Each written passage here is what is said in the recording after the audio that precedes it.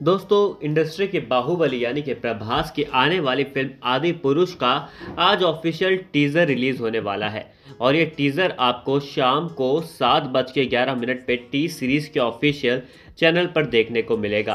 Film को direct कर रहे हैं ओमरोद जिन्होंने तानाजी जैसी शानदार फ़िल्म बनाई है। और इस फ़िल्म में प्रभास के साथ विलन के किरदार में हमें नज़र आएँगे सैफ अली खान, जो कि तानाजी में भी विलन बने थे। आपको बता दें, फ़िल्म के अंदर एक्ट्रेस के तौर पे हमें कृति सैनन दिखाई देंगी। फ़िल्म काफ़ी ज़बरदस्त होने वाली है और भगवान श्री राम को केंद्र में रखकर बनाई गई है। फ़िल्म की रिलीज़ डेट जनवरी में रखी गई है, जो कि शाहरुख खान की पठान से क्लैश करती हुई नज़र आएगी।